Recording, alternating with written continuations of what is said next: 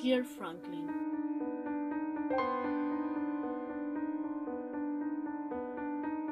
I'm writing these letters hoping that you understand that your sweet little boy was never that sweet.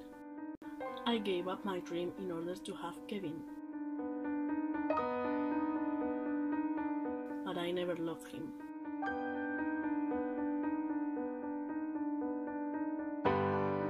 And everyone who did stopped doing it on 10 April 1999.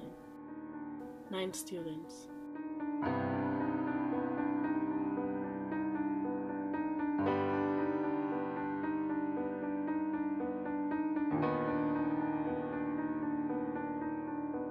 One cafeteria worker.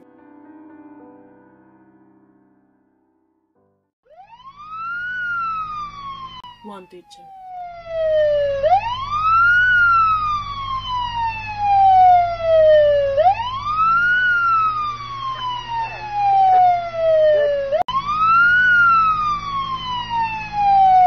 Kevin Khatchadourian became known forever.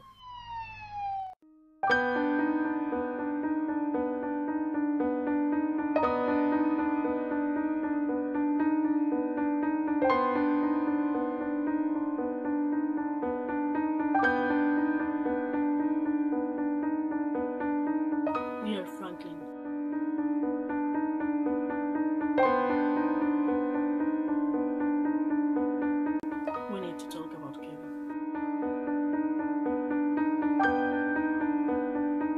a novel by Lionel Shriver.